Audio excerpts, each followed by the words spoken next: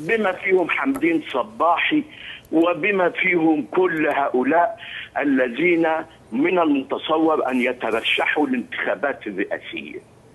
لما يقول حمدين صباحي سيدي أو سيسي ده معناه إنه إحنا أمام شيء شديد الخطورة. حركة شخصيات سياسية لها اعتبارها ولها وزنها بل وصفت كثيرا بأنها تشتاق لمنصب الرئاسة. يعني هذا هذا الاتهام تحديدا وجه كثيرا للمرشح السابق حمدين صباحي. ثم أنت تقول أن الرجل يفسح المجال للفريق. أول عبد الفتاح السيسي في مشهد مشابه لمشهد الحاج أحمد صباحي رئيس حزب الأمة عندما شارك في انتخابات أمام مبارك وأعطى مبارك صوته في تلك الانتخابات. ما الذي يمكن أن ينم عنه هذا ألا ألا يمكن أن يعزز من وجهة النظر الأخرى بأن الفريق السيسي هو فعلا الرجل المنتظر في المجتمع المصري؟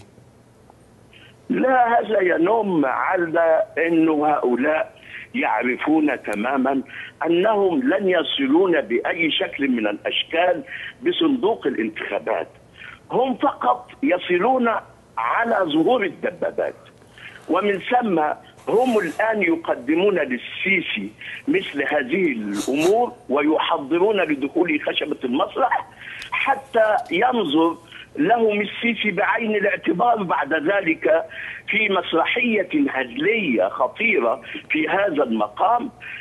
عارف المسرحية بتاعت الزعيم يعني.